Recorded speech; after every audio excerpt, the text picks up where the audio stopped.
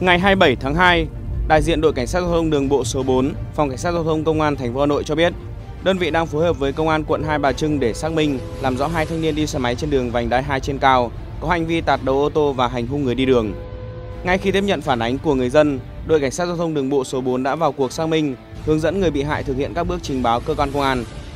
Theo trình báo của chị TA, trước đó vào khoảng 16 giờ ngày 25 tháng 2, trong lúc lái xe ô tô lưu thông trên đường vành đai 2 trên cao, hướng cầu Vĩnh Tuy đi ngã tư Sở,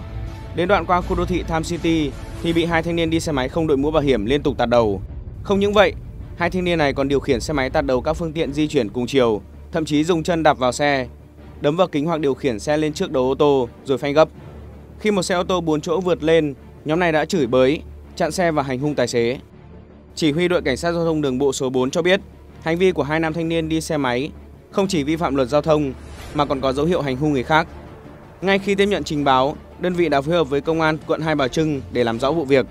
Theo quy định, đường vành đai 2 trên cao đoạn từ cầu Vĩnh Tuy đi ngã tư Sở là tuyến đường dành riêng cho xe ô tô, cấm xe máy, xe đạp, người đi bộ lưu thông. Hiện vụ việc đang tiếp tục được làm rõ.